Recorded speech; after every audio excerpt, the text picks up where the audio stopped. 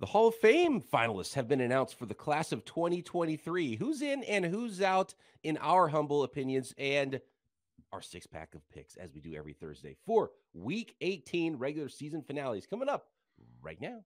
NFL analyst Brian Peacock and former NFL scout Matt Williamson bring you expert NFL analysis every day in less than 30 minutes. Get an inside look into the NFL on the field and in the front office elite breakdowns, next level analysis, and in depth information only for the real NFL fans.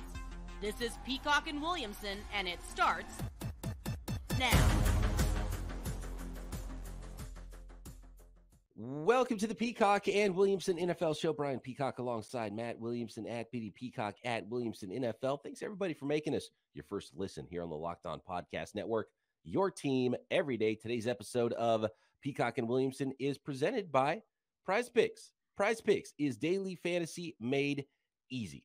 Pick two to five players. If they score more or less than their prize picks projection, you can win up to 10 times your money on that entry. First time users can receive a 100% instant deposit match up to $100 with promo code locked on. That's prizepicks.com, promo code locked on. Uh, let's start with the, the Hall of Fame finalists here. If you don't mind, I want to a, a quick little shout out here. Happy birthday to Virginia Halas McCaskey. She turns 100 today as the principal owner of the Bears. She's George Papa Bear Halas's oldest child. She took over the team in 1983 when Papa Bear passed away. Turns 100 today. You know, so how about that? Wow. Uh, old school Virginia Halas McCaskey, 100th birthday today. Congratulations! I just saw a story this morning about uh, the, the, now the oldest woman in America is in California at 114 years old. So here's to Virginia uh, Halas McCaskey. Hopefully, she can get there and one day be the uh, the oldest person in the United States. That's yeah, how about that? NFL legend. Congrats! Yeah, NFL legend. Yeah, absolutely. Speaking of some NFL Royally. legends, Matt, we got 15 yeah. modern era players announced as the finalists here for the Pro Football Hall of Fame class of 2023. Let's just roll through this really quick. Um, yeah, yeah. Uh, you're a bigger fan of the the the MVP or the uh, the the Hall, Hall of Fame, stuff, conversation yeah. than I am. Uh, the the Hall of Fame frustrates me because of everything that's involved in it and how personal it is, and every single person has a different opinion and what actually are the rules to get in. And um, it, it's a it's a frustrating topic for me. So I'm going to let you lead the way. I'm just going to throw some names at you, and you tell me what you think about these guys if they are Hall of Famers. And we're going to go in. I'm just going to rapid fire. I'm going to say okay. yes, they're definitely in. I don't think okay. so, or a maybe. Alphabetical order here. Jared Allen, defensive end from Kansas City Chiefs, early in his career, uh, really made waves with the Minnesota Vikings for the bulk of his career, and then uh, some Bears and some Carolina Panthers at the end from 2004 to 2015. Really good career, really good player. Is he a Hall of Famer, Matt? Real quick, this is starting to be the era, obviously, of the passing game, which also means the era of sacks. You know, I mean, quarterback standards, wide receiver standards have gone up. There's three defensive end edge guys in this class. I think Allen's the least likely of the three to go. Doesn't feel Hall of Famery to me. Right, right. Really good player though. Really good player, sure. And this is where this is where it gets frustrating for me because every team and every fan base and you know every era grows up with guys who are like, oh man, I love that guy. He was awesome. But that does just being great doesn't mean you're a Hall of Famer. And to me, the Hall of Fame should be smaller and it should not even be a conversation. I hear what you're saying. Yeah. As soon as you get you start to slip down that slope, and then this guy's in, so then this guy has stats similar. Now he's got to be in, and then you know, then you have the Hall of Everybody instead of the Hall of Fame. You know, yeah. um, how about Willie Anderson, offensive tackle, Cincinnati Bengals for a decade, had a little Ravens run at the end of his career. But I mean, everyone thinks of Willie Anderson, Cincinnati Bengals, stalwart offensive tackle for over a decade. Don't think so. I mean, again, I mean, the standards have to be very high. So don't take it personally when I, your favorite guy, I say I don't think gets in here because only a handful do, and there's a lot on this list. So most aren't going to make it. I don't think Anderson does. Rondé Barber, really good player, corner, Tampa two. I, when I think of a Tampa two cover two cornerback, I think Rondé Barber, right? Tampa Bay Buccaneers, part of those great yep. defenses in the early 2000s, 97 to 2012. Only one team in his career, Tampa Bay, like that. He fit that scheme and he played that scheme his entire career. And there's a lot of value to that. there's a lot of history to that, but I think that's a no. I don't think he's Champ Bailey level shutdown corner. I would agree with you there. How about Dwight Freeney? Uh, he was the best pass rusher for a time in his day, part of his decade long career with the Indianapolis Colts, then kind of bounced around a little bit. I think it does hurt players when they do bounce around a little and you see an older player that's not playing at his prime level anymore, but it does help your total statistical numbers in the conversation of is a guy a Hall of Famer or not, too, when you're in that table and these guys are trying to argue for if a guy should be in or out. Dwight Freeney uh, Colts, then played a little with the uh, bounced around, I think, in in four consecutive years to end his career. Chargers, Cardinals, uh, Falcons, Seahawks, and I don't even remember the Seahawks Lions part at the. No, I mean neither. I mean, he made a seventeen one game or something, right? Yeah, but uh, first time on the ballot, I believe, for Dwight Freeney. What do you think? Hall of Famer? I think yes, and definitely over Allen. He was one of the defensive ends I was referencing. I think yes, but maybe not in this class. I mean, I think before long he'll be in though. This is a really good one, and and probably one of the better arguments as far as Hall of Fame goes. Devin Hester, and obviously he came in as a defensive back, but he made his career as a kick returner mm-hmm. and he played started playing offense and wide receivers. Kind of like reminds me a little bit of Cordarrelle Patterson, where you, you know you're you're pigeonholed in one position coming out of school, and you realize after a little bit in your NFL career, is like, ah, oh, this guy's a lot better doing this other thing. So that's what he should do all the time. Um, and yeah, just became one of the greatest returners of all time for the Chicago Bears. Played a little with the Falcons and the Ravens at the end of his career as well. What do you think? A guy who touched the ball so little right. and was not a stalwart on either the offense or defensive side of the ball Devin Hester Hall of Famer? Specialists are really hard, of course. Like one day, Justin Tucker is going to come up and he's going to get in, and he I have no problem with it. He should. Pro- yeah. I mean, yeah, of course. But the Tucker Hester, I mean, I think Hester's not quite the Tucker level, but is if any returner is going to go, it should be him. My problem is when you can only pick six, can I leave Freeney off for Hester? Can I leave the best guard in the class off for Hester that played so many more snaps? But I would not have any issue with Hester going to the Hall of Fame, and I think he deserves to be in. And, and I buy the argument, but like you're going to put a guy in the Hall of Fame who scored nine career touchdowns or whatever it was, right? Right. No, it's a Hall of Famer because he was this really good at this one thing and had these big plays. I, I would say uh, another player impacted the game more that clearly wouldn't have had a Hall of Fame career as a pure wide receiver or a pure defensive back than a specialist. Right, right. So that's where it gets difficult for me. But he was clearly the best at his position. And so that's that does weigh heavily. And, and, I wouldn't fault anybody for voting for Devin Hester. be a little bit more difficult for me.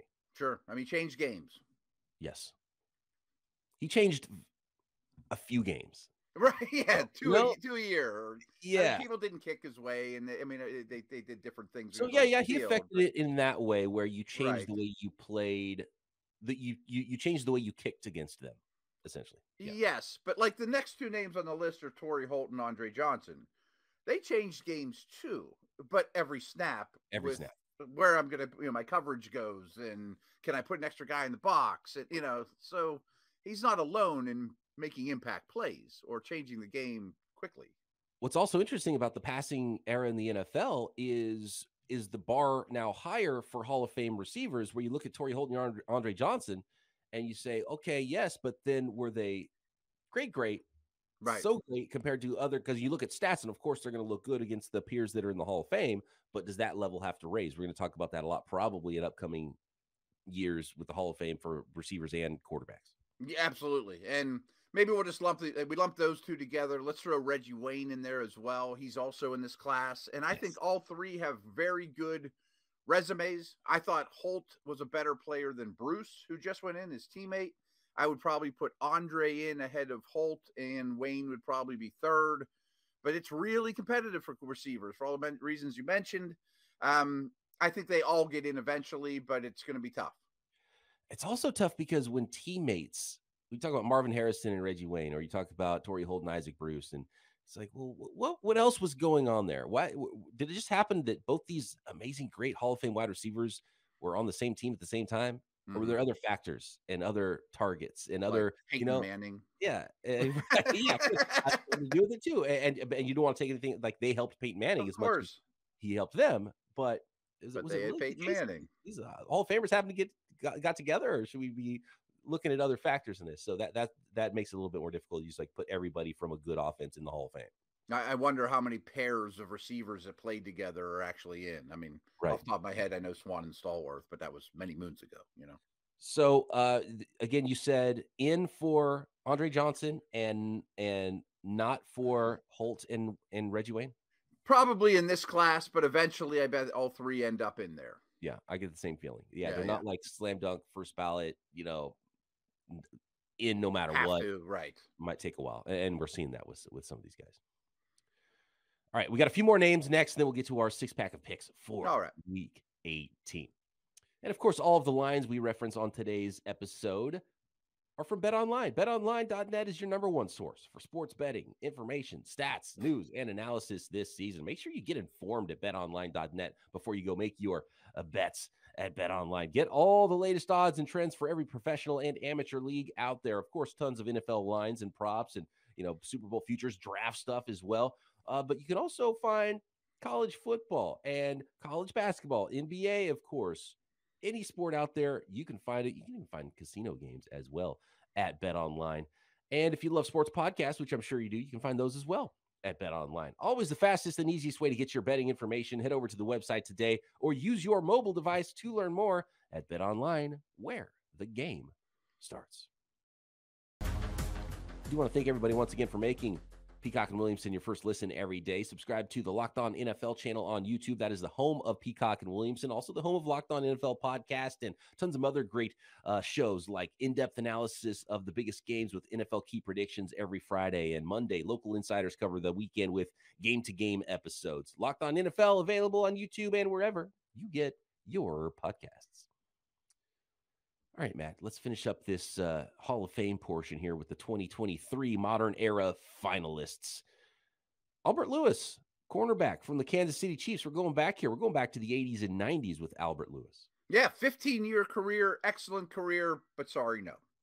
I remember him back in the uh, like first Tecmo Bowl days. Like you Mm, see see that. you, you see a name, you're like, oh, this who's this? What's this great Kansas City Chiefs defense? You know, it's like Christian Okoye, Barry Word. Like the name is always up there and always a, a really good player. So that's that's how I think of those players in the late 80s and early 90s is is the video game versions of themselves. That's awesome. Yeah, uh, great player, but no.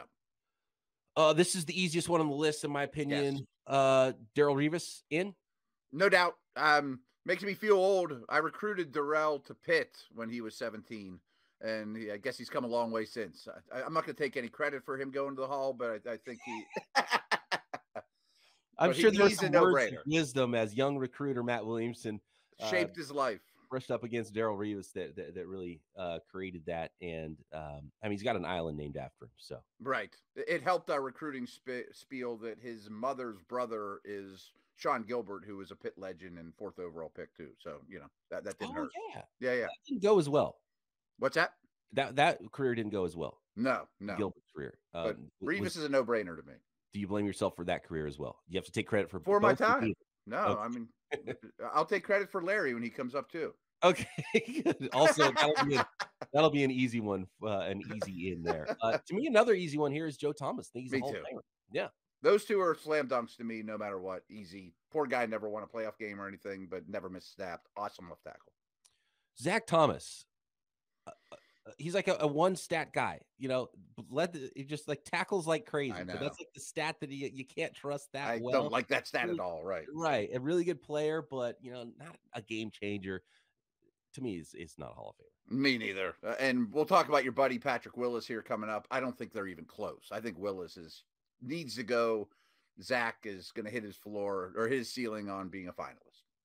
I Patrick Willis retired early, which obviously That's the only thing hurting him. Right, and so he only played uh, eight seasons, 2007 to 2014. But he was the he, he took the baton was passed from Ray Lewis to Patrick Willis as the best linebacker Yep. in the NFL, and then um, it- to me, he's in. I'm biased. I cover the 49ers now. You know, grew up as a 49ers fan. He was so fun to watch. He was a modern linebacker with his speed and his range. Uh, he would thump you as well. But I understand why he doesn't get in immediately. But I think eventually he should probably get in. Me too. And he has not gotten far in this process in a couple years. I've been lobbying for him since he was eligible. I think he's a Hall of Fame game changing player, but uh, he's had an uphill climb. A couple more here. Demarcus Ware, defensive end, pass rusher for the Dallas Cowboys, uh, finished his career with the Denver Broncos, a- and he was such an awesome player. And Um, I love the Demarcus Ware story, and, and I, I follow the draft so closely, and, and I did back then when he came out, and I remember, you know, coming out of Troy, and he was like 100 and you know 80 pound wide receiver, goes to college, comes out, and he's a 250 pound now outside linebacker, pass rusher, and uh, I, I love those players who weren't five star recruits and um, and became superstar players at the college level. And I, and I always read scouting reports where it's in the pros category. It's like, hey, he was a five star recruit coming out of high school. I'm like, that should be in the cons category. yeah, right. Star, uh, you're telling me he was an overgrown 15 year old, got recruited, and then was uh, you know disappointed the rest of the way, and that's supposed to make me want to draft a guy. Now, give me the Demarcus Wares all day long. Uh, that's just a you know, I just I always remember that coming out of the draft is like a big moment for me. It's like, oh yes, that you know, I, I always love those stories and those types of players. But Demarcus Ware was was awesome. Uh, he was among the best uh, pass rushers in the NFL in, in that same era with Dwight Freeney. Is Demarcus Ware a Hall of Famer, Matt? I think so. Ware versus Freeney is a tough one for me. I mean, if I had to pick between the two, but I think they both absolutely get in. Sort of similar to your Revis story, and you talking about Ware as a prospect. Well, I was in the Browns war room, and we had strongly, strongly considered him with the third overall pick. We ended up taking Braylon Edwards, who was our number one player in that draft. Alex Smith went one, um, and then Ronnie Brown, who we did, we weren't in the market for either one of those, but I think Ware was in our final top three if Braylon would have happened to have fallen. I remember there was a big fight. It was uh, Shawne Merriman that year. Merriman right? versus Ware. Merriman versus big Ware. Battle. Yeah. I think they might even gone like back to back too. They were both top six ish. You know, yeah, hundred percent. And there was a battle in our our war room. I remember that people were fighting over the two because with the third overall pick, you got a shot at both. You know. The final name on this list is Darren Woodson, longtime Dallas Cowboys safety. I think he's a no. He kind of is that Rondé Barber, Zach Thomas level to me. Like really good, but no.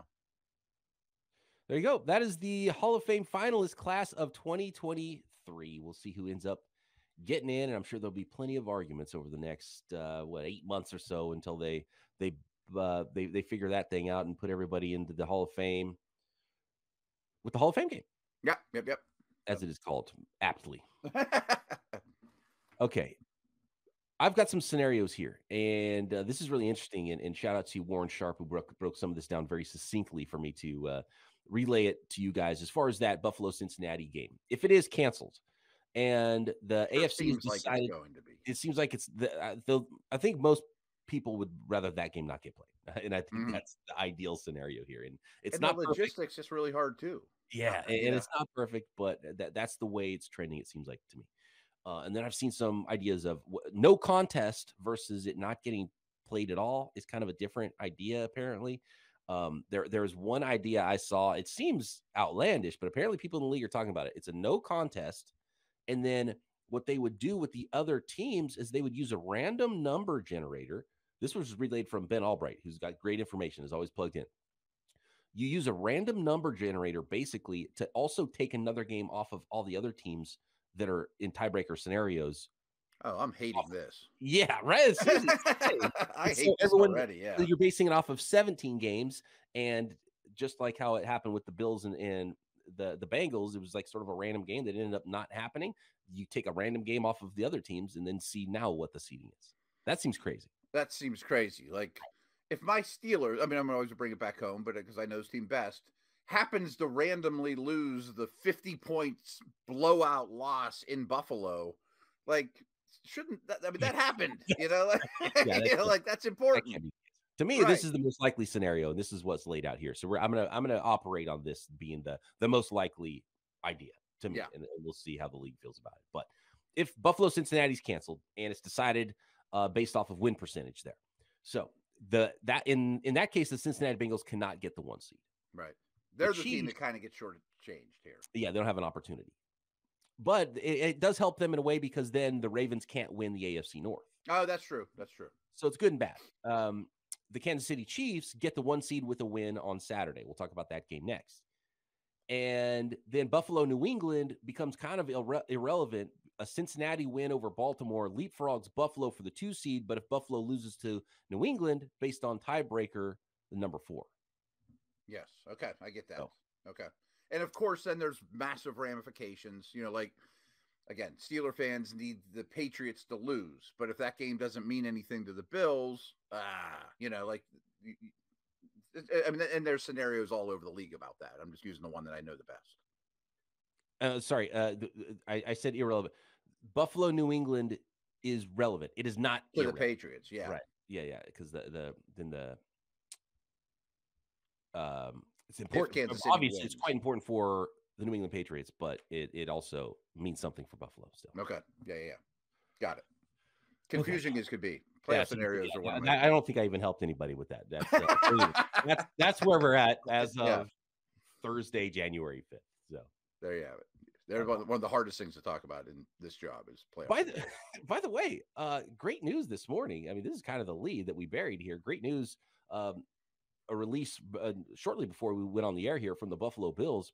Per physicians caring for Damar Hamlin at the University of Cincinnati Medical Center, Damar has shown remarkable improvement over the past 24 hours. While still critically ill, he has demonstrated that he appears to be neurologically intact, which is huge. His mm-hmm. lungs continue to heal, and he is making steady progress. We are grateful for all the love and Fantastic. support we have received. So that that's about as, as good a news as probably we could hope for right now. Um, and you hope that you know that designation goes from critical condition to stable condition, neuro- neurologically intact. I mean, uh, that, that that just that term alone uh, is a really exciting thing. So. Absolutely. And you had mentioned, you know, you retweeted the his fundraiser from around here for kids. I think it's up to like eight million dollars. it's unbelievable. Yeah, I'm seeing like no way it grew that much. Right. And, NFL players, everybody owners, yeah. involved, and you know some deep pockets there. So this is, uh yeah, this is. There's uh, some good coming out of it. Absolutely, absolutely. So still hoping for the best, and and that's a nice bit of good news here on this Thursday on Damar Hamlin. Okay, Matt, where are we? We so need to games here, yeah. Talk about some of these games. I don't think we're going to get to six complete games, but uh, sure. let's start with the Saturday games and then uh, talk uh, talk about the top of the draft as well. Next, it's very important to get hiring right for any business, and it's just as true for uh, NFL teams as it is for your small businesses, where wherever you are, right? Uh, whatever your business needs and you're, you're hiring, it is so important to get that right. And that's why LinkedIn Jobs is there to help you find the candidates you want to talk to faster. So post your job for free at linkedin.com slash locked on NFL. Always have fun talking about our friends at Built Bar. If you're looking for a d- delicious treat, you don't want all the fat and calories, then you got to try a Built Bar. They are remarkably good tasting and somehow packed with protein, low in sugar, and low in calories. It's really the perfect treat. If you like me and like a lot of people, try and especially after the holidays, right? That that New Year's resolution is I always hate the New Year's resolution, but uh, it's always true because you're always going to eat too much and, and do bad things during the holidays. At least I do, and you got to try to thwart that. And for me, it started before the holidays, but uh, continue it after and into the new year. That's why you got to try Built. With Built, healthy is actually tasty. Uh, so delicious. You won't realize how good they are for you. And when I say they're good for you, what am I talking about? Well, most Built bars are only 130 calories, four grams of sugar with a whopping 17 grams of protein. And you know, you can buy a box of Built bars at built.com, but you can also get them on store shelves. I've seen them out and about, including your local Walmart or Sam's Club. That's right. Head over to the nearest Walmart today, walk to the pharmacy section, grab yourself a box of Built Bars. You can pick up a four box of cookies and cream, double chocolate, or coconut puff. If you're close to a Sam's Club, then you can run in and grab a 13 bar box with all the hit flavors of Built Bars, including brownie batter and churro. And then you can go ahead and thank us later. And of course, find Built Bars at built.com.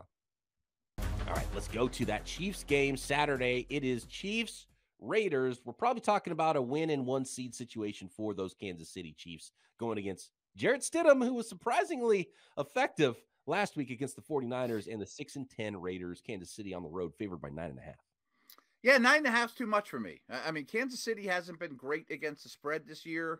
They're a great team, they're a great offense, but they don't destroy other teams. And I know Vegas has quote nothing to play for, but Jarrett Stidham sure does, and the head coach sure does, and they played really well last week, as you witnessed. So I think they keep this thing close at home. Familiarity. McDaniels' yeah, right, right. his second shot at the Kansas City Chiefs this year, so you know, good coach. That should theoretically that should help as well. So nine and a half is a lot of points on the road. Um, I was impressed with what I saw from the Raiders, but I also feel like maybe a little more tape on Stidham, how they're going to Sure, utilize him and utilize the offense without Carr might change some things and help out Andy Reid and the Chiefs as well. I'm going to go the other way and kind of reluctant. Like I wouldn't really put my money on this game, but I'm gonna I'm gonna go ahead and go the other way and say that the uh, the Chiefs can win this one by double digits. Okay. They've got something to play for. They want to get that one seed. Oh yeah, yeah. This is a big one. This is gonna be fun. Saturday The evening. playoff game. The ten, yeah, the playoff game. This is a playoff game, and there's a few of those scenarios. Uh, the playoff game for the Tennessee Titans at the Jacksonville Jaguars. There are no wild cards here. This is well, I guess the Jaguars still have an in for the wild card, don't they? But It's basically- convoluted, but yes, Yeah, that it- they possibly I'm- could. Look, I, I tried to get through the other part earlier. and I, I don't want to confuse even anybody that further, so I'm not going to go through the wild card scenarios. It's a lot simpler when you're talking about AFC champs in the South. You're you win and you're in. If you lose, you're out. That's what's probably going on here with the Titans and the Jaguars. And it's going to be Joshua Dobbs once again getting the start for the Tennessee Titans against Trevor Lawrence and the Jaguars. Jags favored by six at home.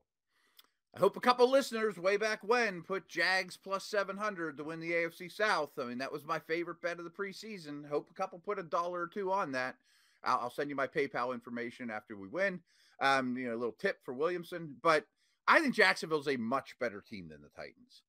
That being said, the, the Titans rested all their main dudes last week, namely Henry and Simmons and the guys that matter most. And the guys that did play have a long week to recover since they played on Thursday. So a well-coached Vrabel team that's probably been gearing up for this game and game planning for it for two whole weeks now and getting everyone fresh. And we know the damage Henry has done to this organization at a Texan like level. I hate the number. I hate the six. I'm going to take the Jags to win, but I'll take the points in a, a game where the Titans are going to leave everything out there fake punts, you know, everything, you know, maybe a Willis package. Yeah, I, and I, I don't know if it's because we've done the show so long together with each other, but I, I Mhm. was gonna say nearly the same darn thing there. Really? I like the Jaguars in this one. I don't think Joshua Dobbs is uh, you know going to help them win a playoff game essentially here against Sure. the Jaguars. I think the Jaguars are a better football team. Can you stop Derrick Henry? Can you slow down Derrick Henry essentially? And uh, I- I think there might be some turnovers going the other way from Joshua Dobbs. As surprisingly effective as he looked you know, maybe you can get some special plays in there. Maybe you see Malik Willis jog onto the field for a couple plays and Mhm. ball bounces your way if you're the Titans, and it could be close. And, and that's sort of a Mike Vrabel thing and the way they play defense and the way they play. I do think it could be closer than six points, which is why I would take the points in this game. But uh, I, I just really believe in the Jaguars here uh, to to be that team representing the AFC South in the playoffs. Oh, me too. Let's talk top of the draft. The Chicago Bears are sitting Justin Fields and they are going to start Nathan Peterman. I mean, this is I like it from a tank perspective and eh, it's it's kind of funny. I actually I don't really like it though because I would rather see your young quarterback out there. Let him finish the season, let him go play, go try to win a football game, right? But it's better for them to not get your running quarterback injured and it's better for them to get the number one pick if possible, and for sure make sure they get the the number two pick in the draft at the very worst. It's the three and thirteen Bears that are hosting the twelve and four Vikings. Vikes have something to play for. Uh, that's why they are play uh, favored by seven and a half here on the road. What do you think about this game? I think the Bears are very happy with how the last couple months have gone. It looks like they have their quarterback, and I think they would be very happy losing this game. so, By the way, does this make it that we've seen sixty four starting quarterbacks? it's more. It's like sixty-eight or something. Oh, like oh, that, geez. Okay, so with we blew through the Peterman two and starters Howe. Okay, Peterman and Howe have taken it up over 65. It's like 66 or 67, which is Uh, insanity. It's more than the strike year when every team started guys, all those guys went on strike, and then they every team had at least two the strike year. unbelievable. Uh, and the other one here is the Colts and Texans, and Right. the Colts aren't playing good ball. They are favored by two and a half at home, but Texans don't screw this up, right? You got the number one pick in your hand. If you win and the and Bears the lose. Bears lose, the Bears are the number one pick. That's what I'm predicting. I think the Bears end up with number one. I think I'm very confident the Bears lose. I think Houston ends up with number two. All right. Tons of really good games uh, to finish it up on Sunday that we'll get to on tomorrow's podcast. Some play in games, some basically early playoff football for us here in week 18. Talk to you then right here, Peacock and Williamson.